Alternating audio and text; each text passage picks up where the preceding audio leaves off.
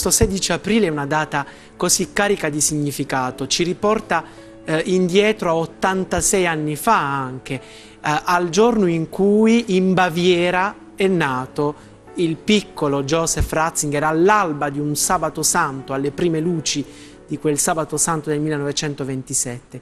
Noi vogliamo dire buon compleanno, Santo Padre emerito, Benedetto XVI. Santo Padre. Santo Padre. Santo Padre emerito, non c'è bisogno. È Papa emerito, Pontefice emerito, ma è Santo Padre e lo resterà per sempre. Per noi questa è l'occasione per dar sfogo un po' dei nostri sentimenti eh, persuasi che questo non significhi far torto a Papa Francesco, anzi, amare un Papa è amare il successore, amare il successore è amare tutti i predecessori. E quindi eh, io direi di di cominciare con un testo che mi pare sia... Io direi proprio di sì, perché questa è una lettera che ci è arrivata in redazione da parte di una nostra eh, telespettatrice e poiché stamattina c'è Eugenia che ci accompagna in questo percorso, eh, volevamo dar voce a questa lettera. Eugenia, conducici allora all'interno di queste parole della nostra telespettatrice Francesca. Magari Francesca di cognome? Non ce l'abbiamo, non ce l'abbiamo. Forse volutamente. No, no, no, no, no, no. È Francesca Bonaiti. Che di ci scrive Bornato da Brescia. Da Brescia. Ascoltiamola. Ho partecipato all'udienza generale di Papa Benedetto XVI il 6 giugno del 2007. Quando ho visto a pochi passi da me il Santo Padre, avevo letteralmente il cuore in gola la dolcezza e la tenerezza del Papa mi hanno come avvolta in una nube di gioia. Chi ha detto del Santo Padre che è un uomo freddo e distante non ha capito proprio niente, perché avere nei propri occhi quelli di Papa Benedetto è come gustare un anticipo di paradiso. Ho pianto quando l'elicottero si è staccato dal suolo del Vaticano il mio pater amabilis aveva preso su di sé la croce e stava avviandosi all'ultima stazio di quella personalissima Via Crucis. Lui che ha incarnato vividamente quanto detto dall'Apostolo Paolo. Quando sono debole è allora che sono forte. Grazie, Padre Santo. Ti voglio tanto bene. Queste sono le parole di Francesca, parole che ci hanno emozionato, avere nei propri occhi quelli di Papa Benedetto e gustare un anticipo di paradiso. Sì. La lettera che ha letto la nostra Eugenia è semplicemente un pezzo, una lettera molto lunga. Ed tu è, hai il cartaceo, è, direttore, perché sono curioso. Eh. Ho il cartaceo e anche evidenziato in giallo le, le parti belle, ma era una lettera molto lunga e in televisione non ci si può permettere letture lunghe, eh, però voglio dire che è una lettera scelta dal mazzo, eh, non è una lettera casuale. Eh, eh, un Papa può fare anche questo, cioè può anche rivoluzionare la vita di una persona. Eh, ciascuno di noi, d'altra parte, se ci pensa bene, ha avuto nella propria esperienza, nella propria vita, qualcuno che gli ha cambiato le sorti. E per Francesca eh, questo è stato Benedetto XVI e probabilmente non è la sola. Eh, Papa Benedetto ha fatto anche questo, il mite, l'umile. Ricordiamo che mh, Papa Francesco andandolo a salutare gli ha portato in dono la Madonna dell'umiltà eh, il Papa mite, il Papa umile, il Papa delicato, il Papa tanto signore da apparire indifeso. Ma oggi, eh, sulla scia della lettera di Francesca, eh, io vorrei che ci lasciassimo prendere dalla nostalgia. Nostalgia è una parola forse non capita subito Nostalgia non vuol dire rimpianto, nostalgia vuol dire etimologicamente voglia di tornare a casa.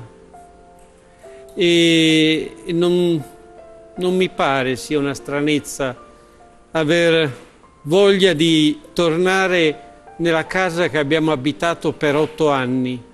E l'abbiamo abitata con entusiasmo, con gioia, con convinzione, persuasi che fosse il tetto, la casa, il tavolo più bello a cui potevamo eh, sederci. E, e noi eh, dobbiamo pensare che eh, ogni Papa ci appare insuperabile mentre è nell'esercizio delle sue responsabilità. A me è capitato di pensare questo, lo ricordo nitidamente, con Paolo VI, mi sembrava il non ultra del, dei papi. Poi ho provato questo con Giovanni Paolo II, mi sembrava il non plus ultra. Ho provato questo con Benedetto XVI e mi sembrava il non plus ultra e quindi mi sono convinto che ogni Papa è il dono più grande che Dio può fare ad ogni epoca. Però Dio è Dio, Dio è Dio e Dio vede oltre il nostro sguardo e Dio prepara sempre gli uomini che sono necessari per, eh, per domani e quindi non dobbiamo stupirci se dopo un Papa ne viene uno leggermente diverso o molto diverso. È sempre Dio che fa tutto, Dio che sceglie un Papa e che sceglie il successore. E entrambi sono per il bene della Chiesa. Ed entrambi ci innamorano perché entrambi sono uomini di Dio e in essi si riflette la fantasia di Dio. Per cui non mi vergogno di dire che a me è parso in alcuni momenti davvero un Papa insuperabile e noi dobbiamo, non dobbiamo temere di amare Benedetto XVI eh, con la paura di fare torto a Papa Francesco, così come non dobbiamo aver paura di amare Papa Francesco eh, temendo di far torto a Benedetto XVI. Eh, il cuore non è uno spazio confinato eh, dal reticolato, il cuore è uno spazio miracoloso che si moltiplica amando, si moltiplica non in estenuazione, cioè quanto più ci facciamo stare persone tanto più amiamo in maniera blanda, no al contrario quanto più gente entra, tanto più li amiamo con intensità. E così amare un Papa non significa non amare o deprezzare l'altro, significa amarli tutti, amarli ciascuno nella specificità che Dio ha assegnato a loro. Eh, noi amiamo Benedetto XVI, noi lo amiamo, lo amiamo vorrei dire oggi più di ieri, oggi che è solo più di ieri che era in compagnia ed era cercato, circuito, eh, lusingato, eh, gli si faceva una corte infinita, oggi praticamente è solo, solo non perché sia volutamente lasciato solo, ma perché egli ha scelto la solitudine. E questo è un motivo in più per noi per amarlo. C'è qualcuno che osservando le ultime immagini di lui viste in occasione della visita di eh, Papa eh, Francesco ha detto che eh, sembrava deperito, sembrava un Papa allentato nei riflessi, eccetera.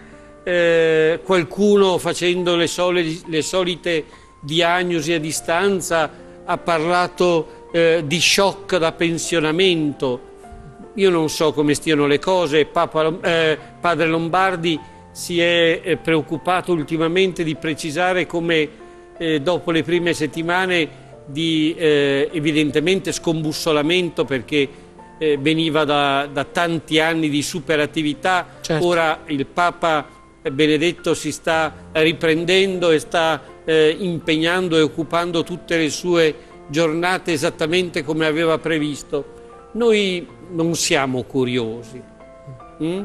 Perché noi sappiamo che i papi sono nelle mani di Dio e quindi ci fidiamo eh, enormemente. Eh, però lo vogliamo ricordare come il Papa delle vette, il Papa delle vette. Cioè? Non perché ci è andato con i suoi piedi come faceva Benedetto Giovanni Paolo II, ma perché indicava senza sosta, senza sosta la vetta. Noi lo ricordiamo come il Papa delle vette, il Papa del silenzio, il Papa della discrezione, il Papa della riforma più difficile, quella che parte dal nostro cuore, il Papa che sapeva andare controcorrente e lo faceva con finezza, con delicatezza, un Papa maestro come pochi, eh, maestro profondissimo, eh, un pedagogo come quelli che sono necessari nei momenti di passaggio, come nel periodo ellenista la Chiesa ha avuto bisogno di grandi pedagoghi che conducessero dall'epoca romana all'epoca cristiana. Così abbiamo avuto lui che ci ha condotti dal relativismo più spinto a un rapporto razionale con la modernità.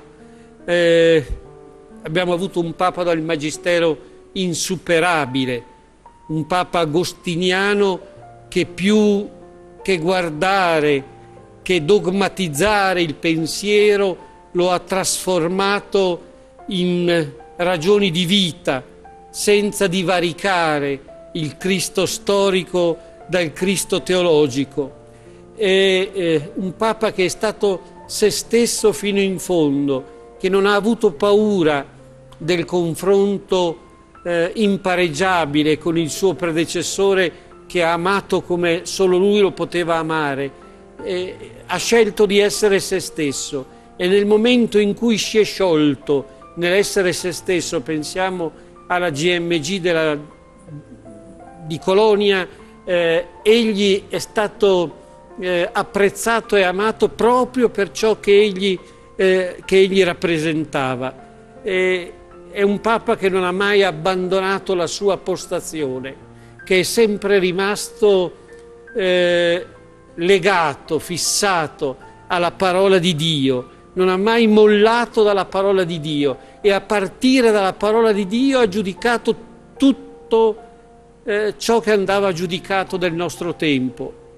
Eh, che gli altri capissero o meno, lui non si è mosso dal suo punto di vista. E, e piuttosto che cedere, piuttosto che abbandonare il suo punto di vista, piuttosto che scendere a compromessi o piuttosto che attenuarlo per ragioni dell'età, piuttosto che eh, come dire, sbiadirlo per ragioni di salute, ha preferito abbandonare il campo, cioè è un Papa eh, della riforma, della, di una grande riforma, lui che è stato il, il carabiniere dell'ortodossia eh, da cardinale.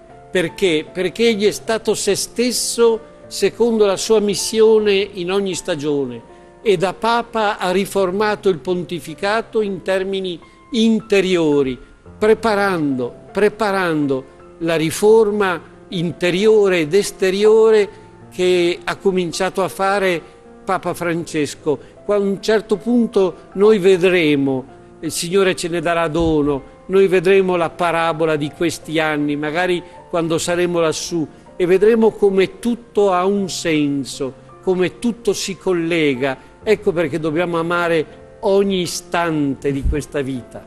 E allora lasciaci concludere solo dicendo buon compleanno, Papa Benedetto. Buon compleanno. eh, ricordo in una delle ultime messe, forse nella messa di presa in possesso della cattedrale mh, del Laterano, il nostro Don Filippo di Giacomo che commenta in modo insuperabile le messe, ha detto che gli risulta che il Papa segua i momenti principali della vita della Chiesa dalla nostra emittente. A me questo non risulta, ma io sono un povero laico, lui è un ecclesiastico introdotto e quindi è una notizia che io prendo per buona, non ho la pretesa che il Papa, eh, Papa emerito Benedetto ci stia seguendo adesso, spero però che in un modo o nell'altro gli arrivi l'abbraccio di questa comunità televisiva che è l'abbraccio di tutta la comunità ecclesiale italiana.